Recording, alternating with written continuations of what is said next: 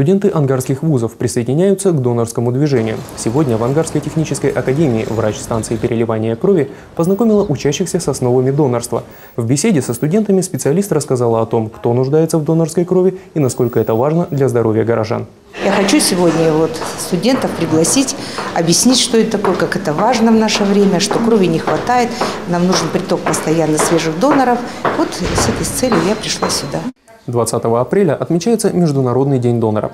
В рамках этой даты и целях пропаганды донорского движения на Ангарской станции переливания крови в пятницу с 8 до 12 часов утра проводится специальная акция.